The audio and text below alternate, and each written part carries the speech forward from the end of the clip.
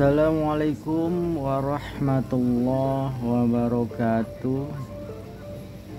Sobat-sobat semua Alhamdulillah kita bisa jumpa lagi Di channelnya MTC ya Tempat nongkrongnya Belajar bersama dalam menangani Kasus-kasus handphone kali ini kita dapat kerjaan yaitu Redmi Note 10 Pro ya.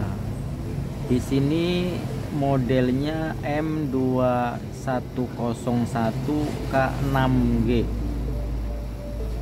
sobat-sobat boleh browsing barangkali penasaran untuk tipenya yaitu di model Redmi M2101 K6G jadi alhasil handphone ini adalah Xiaomi Redmi Note 10 Pro. Untuk kasusnya sendiri HP ini adalah lupa akun Google ya. Yang dikenal dengan FRP ya. Factory Reset Protection di mana kasus tersebut terjadi di saat kita mereset handphone kemudian akun Google-nya itu lupa. Oke di sini untuk tampilan awal dari Redmi Note 10 Pro ini di MIUI 13 ya. Ini udah versi yang terbaru banget ini. Oke seperti apa sih FRP akun Google itu kita akan coba install seperti biasa ya. Kita klik. Di sini kita klik bahasa Indonesia. Kita klik. Kemudian pilih lokasi lokasi Indonesia. Kemudian pilih keyboard. Kita klik lagi di sini kita centang ya untuk syarat dan ketentuannya. Untuk memeriksa kartu SIM kita lewati saja dulu. Di sini hubungkan ke jaringan kita akan coba lewati ya. Kemudian lainnya lainnya. Terus klik setuju. Di sini setel sandi kita akan lewati dulu setelan tambahan kita klik seterusnya ya. Di sini kita cancel aja dulu ya tidak setuju. Kemudian kita klik lagi. Pilih peluncur bawaan kita klik lagi. Pengaturan selesai selamat menggunakan kita akan coba klik.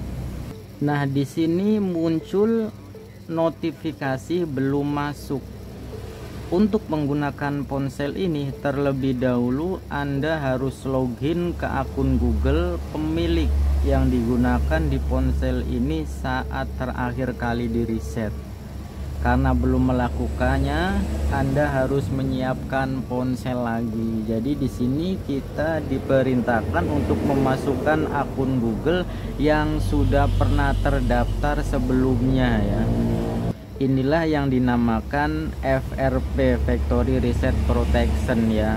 Yang sering disebut juga nyangkut di Google katanya. Dari tampilan pojok di atas juga sebenarnya kita sudah mencirikan ya. Di sini ada tanda gembok yang terkunci. Itu juga ada ya beberapa jenis handphone. Di mana kasusnya itu nyangkut di akun Google itu ada notif di bagian pojok atas sebelah kiri itu ada gambar gembok ya. Itu mencirikan dan menandakan HP itu nyangkut di akun Google ya. Nah kemudian kita siapkan ponsel. Kita coba klik siapkan ponsel. Maka secara otomatis kita kembali lagi ke awal. Oke sobat-sobat semua jadi kali ini kita akan membahas dan mengupas tuntas sedetil mungkin membypass ya akun Google daripada Xiaomi Redmi Note 10 Pro ini. Nah, yang pertama caranya kita akan coba belajar bersama dengan tanpa PC dulu ya. Apakah berhasil atau tidak? Oke, kita lanjut lagi ya. Kita klik. Sampai pilih bahasa Indonesia, kita klik lagi. Kemudian klik Indonesia.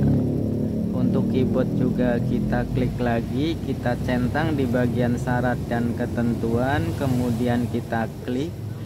Untuk memeriksa SIM kita lewati saja. Nah kita sampai dihubung ke jaringan kita hubungkan data atau jaringan internet ya. Karena untuk membypass akun Google atau FRP-nya HP ini kita harus terhubung dengan internet.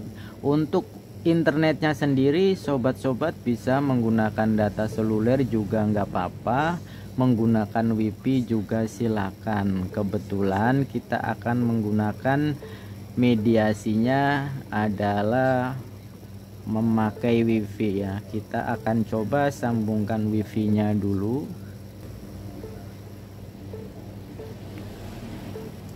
Oke wifi nya sudah terhubung ya. Kita akan coba install dengan menyambungkan wifi ya. Kita akan coba install seperti apa perbedaannya menginstal tanpa jaringan internet dengan internetnya. Di sini ada tampilan yang beda yaitu jangan salin ya. Sebelumnya tidak ada tampilan jangan salin. Nah, di sini di saat kita menginstal dengan jaringan internet itu sampai di sini kita diperintahkan untuk memasukkan pin ya atau memasukkan sandi. Buka kunci setelah setel ulang pabrik. Perangkat Anda telah disetel ulang pabrik Anda bisa buka kunci menggunakan sandi. Jadi ternyata di sini awalnya ada lupa sandi. Ya otomatis tidak ini ya tidak tahu. Nah di sini ada pilihan lain ya yaitu gunakan akun Google. Kita coba klik gunakan akun Google. Nah di sini juga mentok ya. Tadi kan awalnya memang uh, lupa akun Google perangkat ini di reset untuk melanjutkan masuk dengan akun Google yang sebelumnya disinkronkan pada perangkat ini yang seperti saya sebutkan awal itu bahwasanya kita diperintahkan untuk memasukkan akun Google yang pernah terdaftar.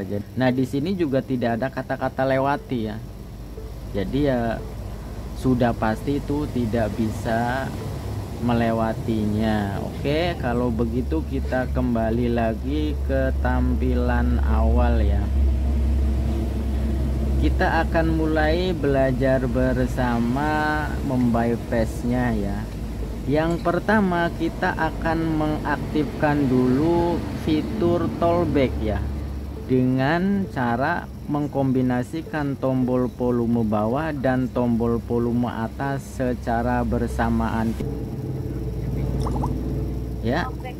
Di sini sudah aktif ya. Ada ada kata-kata tollback aktif. nah kalau sampai di sini kemudian kita akan menggambar L yang terbalik ya.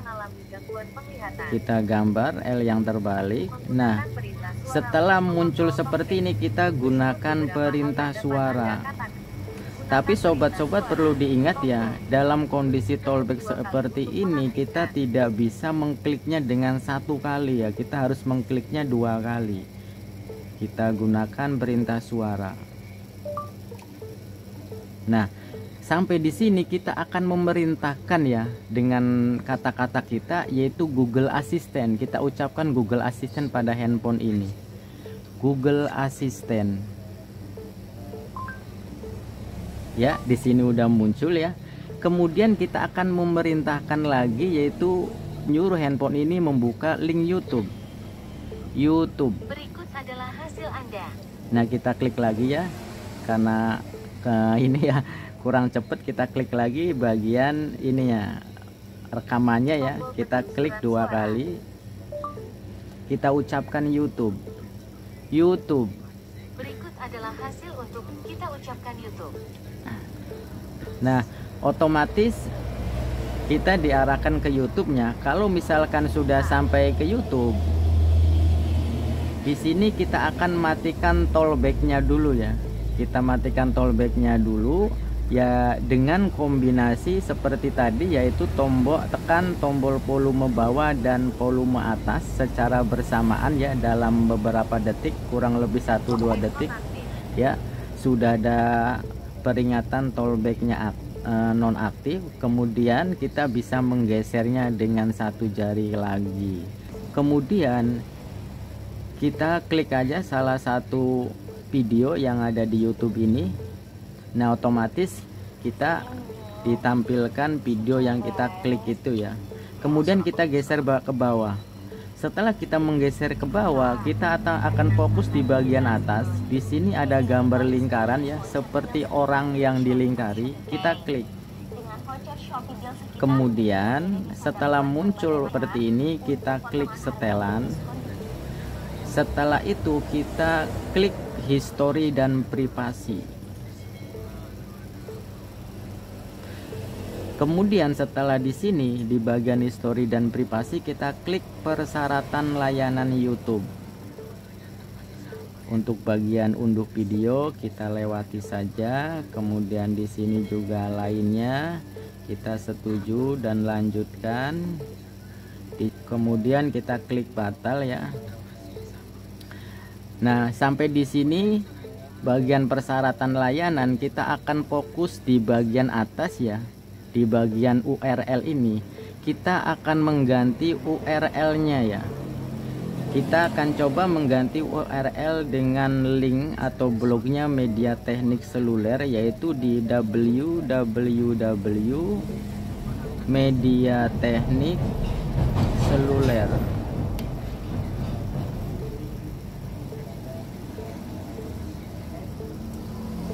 .com kalau sudah kita tulis kemudian kita klik masuk. Ya di sini kita sudah masuk ke websitenya media teknik seluler. Kemudian karena ini terlalu kecil tampilannya kita perbesar sedikit ya. Kita akan fokus di bagian atas di bagian beranda kita geser yaitu kita pilih bagian FRP ya. Di sini ada bagian FRP, kita klik bagian FRP-nya. Otomatis tampilkan menu-menu ya. Kita akan fokus di bagian setting ya. Di sini open setting, kita klik bagian open settingnya. Kita klik, nah secara otomatis kita diarahkan ke bagian setelan setelah sampai di bagian setelan oke okay, kita cek dulu ya untuk handphonenya sendiri yaitu Redmi Note 10 Pro ya. Versi MIUI global di 13.0.4 jadi ini versi yang sudah paling baru ya untuk update keamanannya sendiri yaitu update keamanan Android di 2022 tanggal 5 bulan Januari ya. Oke kita kembali lagi. Kita kembali lagi ke bagian setelan ya atau pengaturan. Kalau sudah di bagian setelan atau pengaturan kita akan masuk ke bagian setelan tambahan ya. Kemudian setelah di bagian setelan tambahan kita masuk di bagian aksesibilitas. Kita klik aksesibilitas. Kemudian kita pilih menu aksesibilitas. Kemudian kita aktifkan menu aksesibilitasnya ya. Kita aktifkan kemudian kita klik izinkan kemudian kita klik bagian ini ya. Kita klik bagian ini kemudian kita simpan ya. Di sini untuk menu aksesibilitasnya sudah tampil. Setelah itu kita kembali lagi ke bagian setelan ya setelah masuk ke bagian setelan kembali kita masuk ke bagian akun sinkron. Untuk sinkron otomatisnya sendiri disarankan kita matikan saja ya. Kita matikan untuk antisipasi saja. Setelah itu kita akan kembali lagi dan setelan. Kemudian kita akan masuk bagian Google ya. Nah sampai di sini di bagian Google kita fokus di bagian atas yaitu ada tanda tanya yang dilingkari. Kita klik bagian tanda tanyanya. Nah kemudian sampai di sini kita akan mengetik ya. Kita ketikkan bagian del. Nah di sini secara otomatis tampil ya. Di sini delete or disable apps on android. Ini yang akan kita buka ya. Kita klik bagian delete nya kemudian di sini ada keterangan-keterangan banyak ya. Di sini kita fokus di bagian menghapus aplikasi yang telah diinstal ya. Di sini ada bagian satu yaitu ada kata-kata ketuk untuk membuka setelan aplikasi. Kita klik aja ya ini uh, untuk kalimatnya sendiri warnanya biru ya. Kita klik. Nah sekarang kita sudah masuk bagian kelola aplikasi Oke, kalau sudah masuk di bagian kelola aplikasi, kemudian kita klik di sini ya bagian bawah ada kata-kata lainnya di bagian titik tiga, kemudian kita klik, kita tampilkan sistem ya. Kemudian muncul di bagian kelola aplikasi. Setelah itu kita akan mencari beberapa aplikasi yang akan kita nonaktifkan ya Oke. Yang pertama adalah alat pemulihan data. Di sini alat pemulihan data kita nonaktifkan ya. Kita klik nonaktifkan, kemudian menonaktifkan aplikasi, kemudian kita klik paksa berhenti, kita klik OK. Kita kembali lagi, itu yang pertama ya. Jadi alat pemulihan data. Kemudian yang kedua, kita akan mencari lagi kita akan scroll ke bawah ya. Di sini aplikasi di pool operator ya. Kita klik. Kita paksa berhenti ya di bagian aplikasi di pool operator atau aplikasi bawaan ini. Kita kembali lagi kalau sudah dinonaktifkan. Itu berarti udah dua ya. Kemudian kita scroll lagi ke bawah selanjutnya kita di sini klik cari perangkat ya.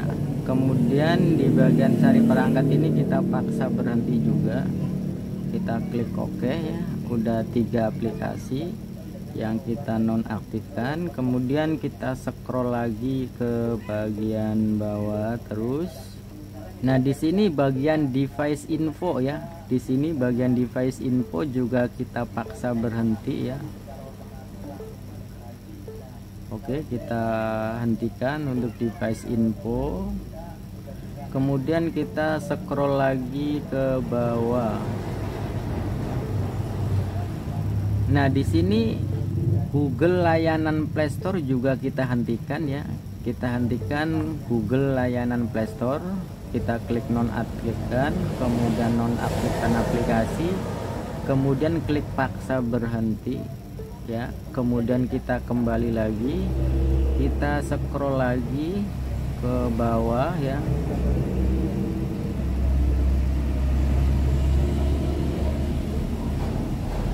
Di sini ada layanan Google Play. Ini juga kita hentikan ya. Kita nonaktifkan layanan Google Play nya kemudian kita paksa berhenti. Kemudian kembali lagi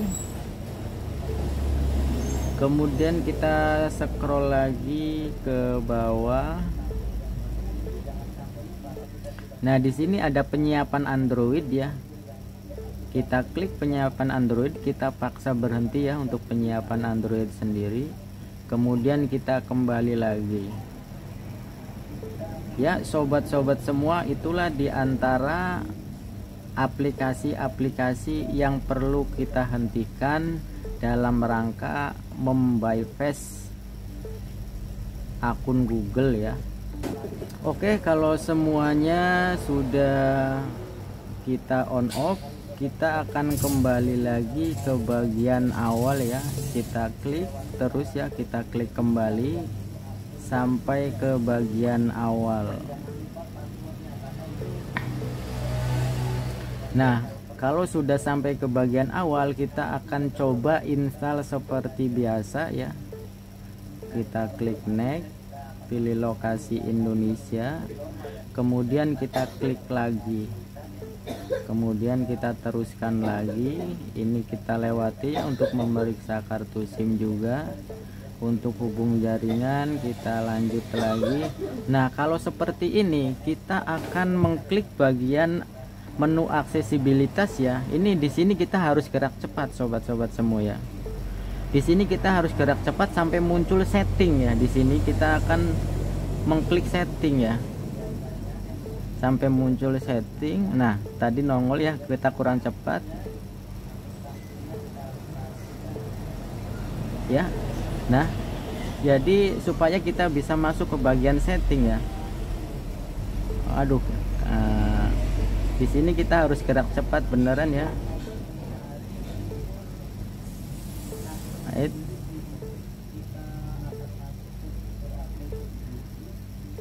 di sini emang kita perlu kesabaran ya. Kita harus gerak cepat supaya muncul settingnya itu.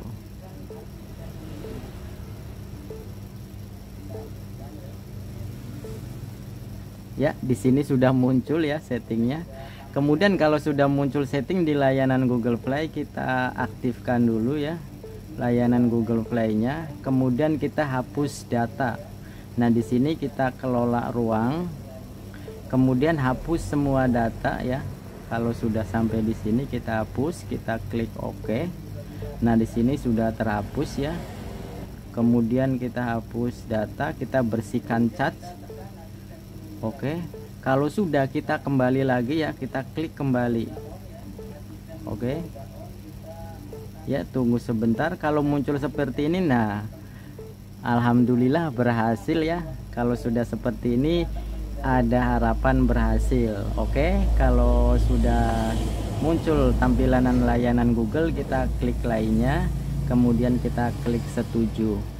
Kemudian untuk bagian setel sandi kita lewati ya kemudian setelan tambahan kita klik lanjut. Di sini layar kunci yang didesain ulang kita lewati saja dulu. Kita klik selanjutnya pilih peluncur bawaan kita klik lanjut ya. Untuk ini kita klik lewati saja ya. Oke kita klik OK Nah pengaturan selesai. Selamat menggunakan. Oke kita klik ya kita coba apakah berhasil apa tidak. Untuk bypass akun Google-nya Redmi Note 10 Pro ini ya dengan tanpa PC kita tunggu sebentar ya. Berusaha sambil berdoa. Mudah-mudahan saja ada rezeki ya oke. okay. Alhamdulillahirobbilalamin sobat-sobat ya berhasil. Demikianlah cara bypass HP Redmi Note 10 Pro ini dengan tanpa PC ya. Dengan segenap perjuangan akhirnya berhasil juga tapi di sini kita masih punya PR ya. Kita jangan langsung ini aja. Kita masih ada yang harus kita kerjakan yaitu tadi kan ada beberapa aplikasi yang kita nonaktifkan ya. Nah kita aktifkan kembali yaitu kita masuk ke bagian pengaturan.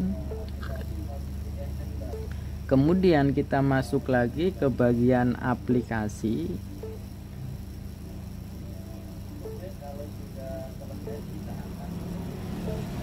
kita masuk ke bagian aplikasi kemudian kita kelola aplikasi kemudian kita masuk ke setelan aplikasi sistem kemudian kita masuk ke bagian kelola aplikasi. Nah sampai di sini kita klik bagian titik tiga yang ada di atas ya pojok kanan kita klik kemudian kita tampilkan semua aplikasi. Dan kita cari aplikasi-aplikasi tadi yang sudah dinonaktifkan. Kita aktifkan kembali ya. Oke kita telusuri satu persatu. Di sini cari perangkat ya. Kita cek cari perangkat tadi kan kita nonaktifkan. Oh di sini sudah ini ya sudah aktif. Kalau sudah aktif kita lanjut lagi ke bagian aplikasi yang lain yang tadi kita nonaktifkan ya kita coba scroll ke bawah. Di sini layanan Google Play ya. Oke di sini untuk layanan Google Play nya juga sudah aktif ya. Jadi kita kembali lagi. Kita akan telusuri lagi satu persatu supaya jangan terlewat. Karena kalau misalkan uh, terlewat itu bisa ada yang error ya. Di sini aplikasi di pool operator. Di sini juga udah ya udah aktif. Kemudian kita cari lagi scroll ke bawah. Di sini bagian device info ya tadi kita nonaktifkan. Oke di sini sudah aktif semua kita scroll lagi ke bawah ya.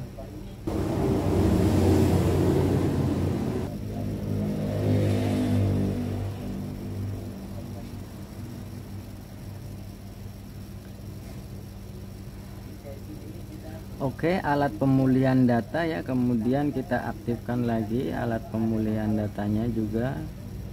Kita kembali lagi Oke kalau semuanya sudah kita aktifkan kita kembali lagi ke bagian menu. Ya terima kasih sobat-sobat semua atas doa dan supportnya. Mudah-mudahan video tutorial bypass FRP atau akun Google Redmi Note 10 Pro ini bisa bermanfaat dan berguna. Seperti kata pepatah bahwasanya Berbagi itu indah. Mudah-mudahan video ini menjadi salah satu keindahan dalam berbagi. Salam sejahtera, sehat selalu, panjang umur dan banyak rezeki ya dan juga selalu barokah. Wassalamualaikum warahmatullahi wabarakatuh.